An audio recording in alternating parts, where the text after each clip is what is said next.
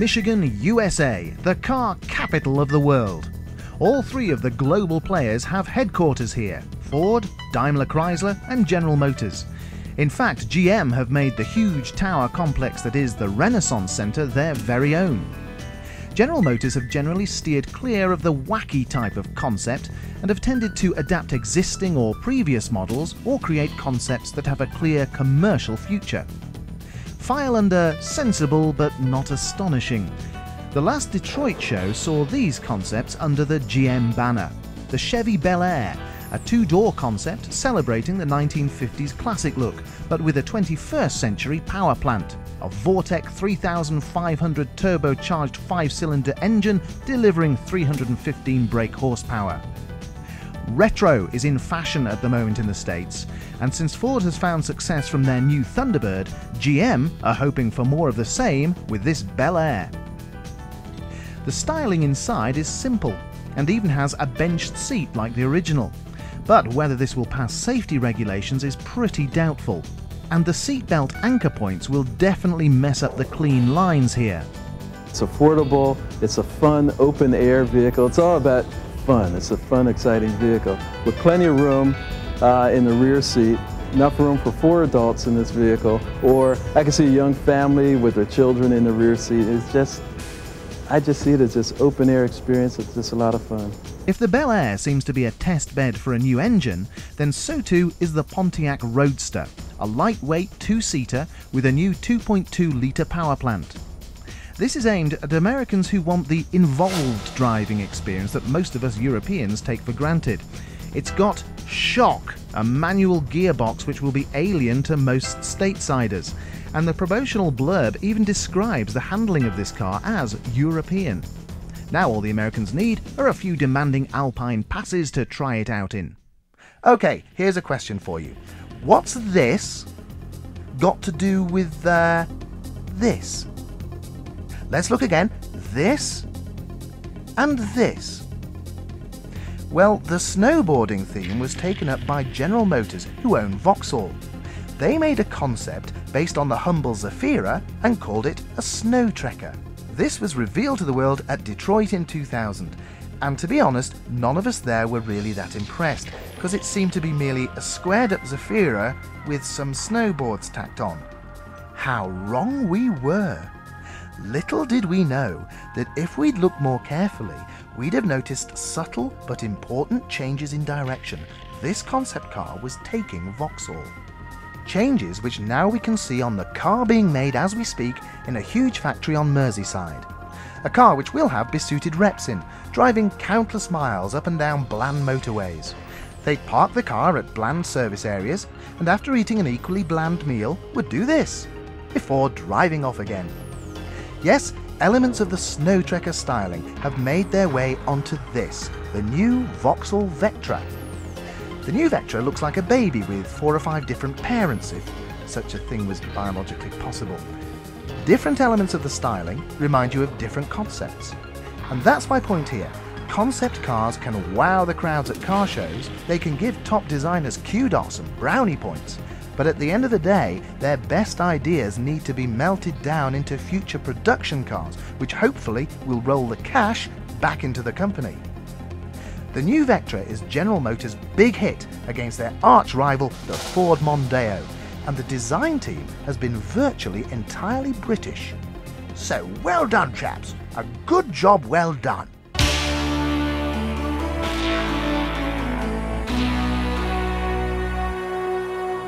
One of the joys of going to car shows is getting into arguments with your mates over the outrageous concepts. Take the GMC Terra Cross. It could be a bold, adventurous statement for the 21st century, or it could be a shape penned by a 12 year old. What do you say? This is GMC's rather funky looking Terra Cross concept car, and it's one step on from the Terradyne concept car you may remember from the Detroit Motor Show last year. Now they're hoping that elements of this will go on to reinvent the sports utility vehicle. Not another one. It's true that there are so many sharp lines on the Terradyne, it makes Ford's new Edge design look decidedly bulbous. But call me old fashioned, I thought that aerodynamically cars needed to have curves in them. Plus, the sliding door, it's a bit, well, minivan, isn't it? Let's get what the designers had in mind by speaking to the leader. We use the words industrial precision, and that really describes the look and feel of the vehicle. The form vocabulary, which refer to the shapes, the way we, um, the way the surfaces are treated on the vehicle, the intersections. We have harder edges, more beveled edges, uh, more of a mechanical, um, architectural type influence in the way the surfaces are constructed. Then we uh, cap the design off with brush metal details. Uh, the details such as the headlamps, the wheels, things like that are again mechanically influenced. Uh, so you have a very, uh, very clean, uh, contemporary look to the vehicle. The bizarre lines of the Terradyne might be at home in Europe. After all, they sell the Fiat Multipla over here, don't they? Could it be Europe bound? Obviously this vehicle, especially for GMC's uh, portfolio of vehicles, is uh, very efficiently sized, which is something that may lend itself to, to more of the European needs. It's not a, a an overly large SUV or truck. It's a very efficient and agile. Um, so I think, I think, yeah, it could be applicable to Europe uh, down the road. I'd be very surprised if this complex angularity ever makes it into mass production.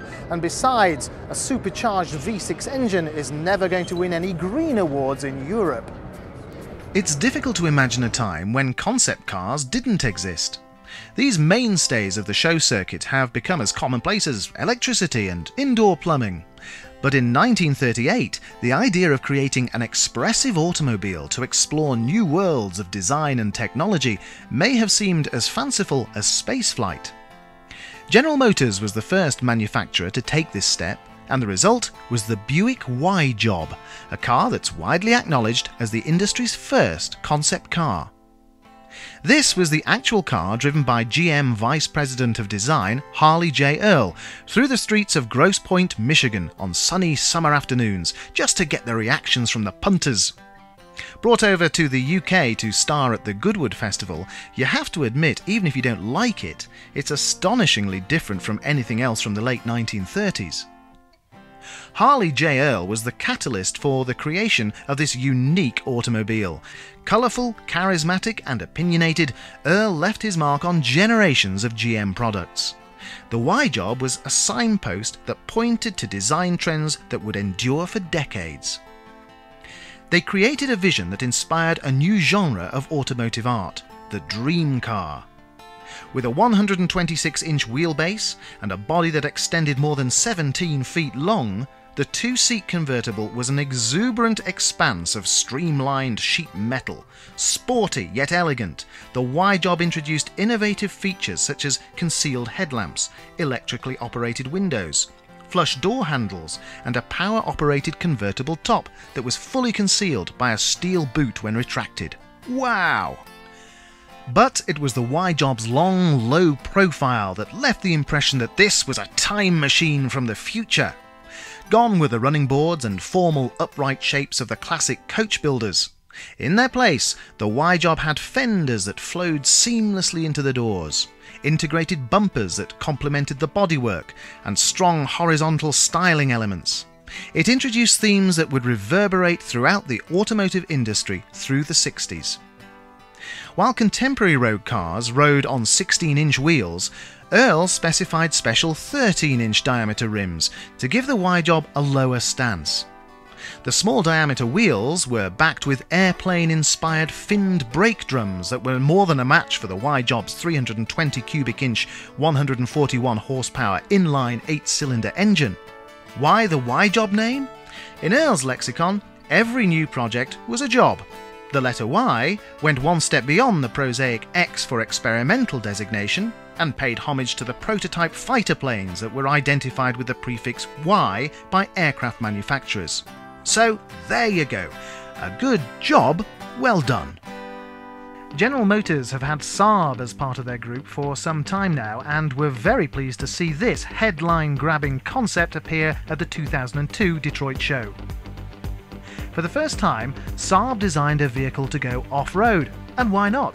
Volvo went that route years ago, and this 93X is called a crossover coupe, a four-wheel drive vehicle that combines off-road capabilities with sporty appeal. On first glance, it looks the part with the sweeping wraparound windscreen. And one look under the bonnet at the 280 brake horsepower V6 turbo engine, and you know, this car means business. We don't do concept cars for the sake of having concept cars. I mean, both cars are a clear statement. This car is more, let's say, much more a vision of the future. And uh, let's say the 93X is much closer to reality, but it's still a concept car. Other features on this concept include an advanced infotainment, don't you hate that word, system, and this has dual display screens inside. Plus, there's an automatic sliding cargo floor which seems quite adaptable. But maybe over egging the pudding. If they got rid of the electric motor, we'd have more storage space, right? Or am I missing the point here? This concept is important for Saab, as GM wants them to double their annual production volume, and the 93X is the first of a new wave of an aggressive model product plan. As we were, so to speak, you can say a small company. Small company can't survive in this uh, this business. Uh, to rely on on your own uh, R&D and so that that's not possible. We have, of course, to have a big uh, big mother company that is supporting us with the technology development and so on. So uh, that's uh, that's a prerequisite for our future success. Bob Lutz used to be a Chrysler car guy, but now he's a big cheese at GM and he supports Saab all the way. Today's Saab vehicles are right on in every category and they are true to Saab's unique and powerful character. At GM, we are fiercely protective of that Saab character. Our goal is to help provide Saab with the environment and the resources needed to make the most of its tremendous future potential. I must say, this concept has been carefully thought out with ingenious glass panel systems which can slide together or be taken out if need be, and a telescopic tailgate which expands 8 inches on demand, allowing for bigger cargo loads. Inside, an advanced data and information center, and fiber optic headlights are aimed to be standard features on future production models. If they do it, the concept you're looking at will be the start of a design renaissance at the company, and about time too. Saab has been far too conservative for too long, and it needs to show some flair again. If Volvo can do it and not lose current loyal customers, Saab could do it as well, and the 93X is a good pointer to the future. Well, what you see today, uh, at least in the front volume, in the in the bonnet, in the front, uh, in the face of the car, it's it's almost the same as uh, the future production 93. Uh, we have, of course, for the concept car, we try to be a bit more uh, adventurous with the details and all, and all that. But uh, and then also on the interior, the design of the dashboard, the volume of the dashboard is almost exactly identical to production 93. That's all for part one, but here's a glimpse of some of the concept cars we'll be featuring in part two.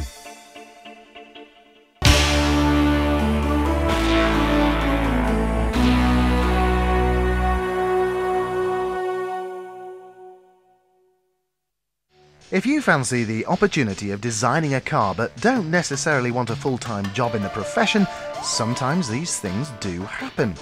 Here in Detroit at the General Motors headquarters at the Renaissance Center, somebody came up with a bright idea of asking the general public what they really wanted. Yes, what they really, really wanted with their new cars. Say, I got an idea. Why not ask the general public here in America to design our next automobile? Well, this was a bad idea. BAD. After countless focus groups, discussion forums, and questionnaires, the concept car was unveiled to gasps all round. It must have been like that scene when Homer Simpson designed his own car with all the daft add ons. This was the car the public all wanted. But they'd created a monster. The end product, the Pontiac Aztek, is a bizarre mix of styles and shows what can go wrong when a car is designed by committee, especially a committee of non-car designers. Some people must have wanted lights up high, and others wanted the lights low, so they bowed to both views. Some wanted rubbing strips, some didn't, and so on. The result is, at best, well, ugly. But just to show they hadn't made a mistake, Pontiac actually produced the concept and amazingly, it has sold quite well in America.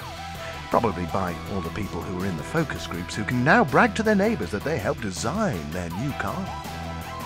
So, with the ugly Pontiac Aztek actually being driven off showroom forecourts, maybe the car is simply very practical but not a looker. A bit like Europe's own misunderstood wonder car, the Fiat Multipla. Since the 1950s, when it was considered that oil was eventually going to run out, thought had been given to electric power. After all, electric cars would be clean, quiet, and superbly suited to the jet age and the space age to come. Never mind that the electricity would have to be created in a smelly, dirty, inefficient power plant, still probably burning oil, but that's another matter. Apart from a few bizarre concept cars, nobody had thought of creating a production electric car. Who would buy them apart from a few green thinking hippies or people who had very short trips to make? Plus, the concept cars were filled with huge lead acid batteries, and nobody had thought of a better system to power these cars. But the big car companies were coming under pressure. The environmentally friendly states of America, such as California, were pushing through all sorts of laws about car emissions, and it was clear that if a car company could bring out a green car here, a huge amount of kudos could be gained. And so it was that the car of the future was unveiled by General Motors in the mid 1990s. This was the EV1, General Motors' first totally electric vehicle to be sold as a production model to everyday punters. We've all heard the comedian's gags about the electric car which couldn't go further than the end of the road because that's how long the electric lead was. But range of electric cars is a very important factor. With the EV1, General Motors worked out how far people could expect to drive under certain conditions. For example, if you were going up hills a lot, using the air conditioning on full, plus with the stereo on very loud, you were going to use a lot of juice, which would limit your range. On an average daily of 72 degree highs, with the air conditioning units off, driving on flat roads, the range at about 55 miles an hour would be about 90 miles. So if you were to drive somewhere, say, 46 miles, you'd be kind of worried on the way back. The heart of the EV1 is the power inverter module and the three-phase AC motor. An alternating current motor is much more efficient than a DC one, so when you charge the car from the AC main supply, it gets stored inside as DC. Then, to use the power when you drive the car, it gets converted back to AC to drive the motor. This motor uses reduction gears to bring power to the front wheels. And note, there's no transmission on this car. Actually, there's loads of things you don't have to worry about. After all, an electric car never needs an oil change. It does have a radiator to keep the batteries cool in very hot conditions, but the less parts, the less hassle, in theory. But just think about that dead weight you're lugging along.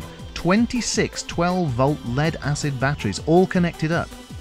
Okay, the batteries are 90% recyclable, and there's no battery acid slopping around as the acid is encapsulated in absorbent mats for safety. But the owner of the EV1 would find a very small boot and cramped conditions inside, because so much space has had to be found for those pesky but essential batteries. General Motors even had to get rid of the spare tyre and put on self-sealing tyres with pressure monitors connected. These tyres are a good idea, but would make the performance of the car even worse. So, how do you charge up an EV1 car? You simply brought the charging paddle into the front fascia. It uses an interactive system using magnetic fields, a bit like the electric toothbrushes we have. In other words, there are no direct electrical contacts, so it's really safe, particularly in wet weather. When you're at home or at a proper charging station, it uses a big 6.6 kilowatt system which can charge up completely in about 3 hours. However, if you have to use the little onboard portable system which plugs into any electrical outlet, it can take 15 hours to fully charge. 15 hours is a very long time. And if you had to use the little charging system, say when you're staying at a motel in the middle of nowhere, you just wouldn't be fully charged after your sleep. You might be fully recharged, but your EV1 certainly wouldn't be. As you can realise, there are a lot of negatives to the General Motors EV1 car, and this is probably why so few of them have been sold over the last four years when they've been on sale in California and parts of Arizona. The only real positives, apart from helping the environment, is that it is quite a fun experience to drive. Forget the performance, forget the handling. Just enjoy the feeling behind the controls as you drive along a car that is like none other. It's almost like flying, playing with the kind of controls and displays you have in front of you. Because the engine's so silent, you even have a special pedestrian alert alarm, the kind of soft horn to tell them you're coming. One gadget that is quite neat is the air conditioning. When the car is connected to a charger, you can set a time so that the air conditioning comes on just before you're about to get into it. A great idea for a very hot day. When you're on the road, though, you have to learn a new way to drive. There's a coast down control, which slows you down like you would going into a lower gear on a conventional car. However, it actually turns the electric motor into a generator to recharge the battery. The system automatically kicks in when you put the brake down. So the EV1 was a very brave move for General Motors, who must have lost a fortune on this car, but someone had to do it. If only the technology were available to make electric cars cheaper and more efficient with batteries that were light and small. The reaction from the great American public is that electric vehicles are just too much hassle at the moment. Even if the owners loved the EV1 car, there were apparently too many problems with the public charging stations which were forever breaking down. What someone needs to invent next is a much more efficient charging unit that works from the mains at home. And Volkswagen have decided to adopt an AC charging system which they claim costs less and performs better. Watch this space. Next week on Concept Cars, join us for another journey of exploration through the creative brains of the world's top car designers.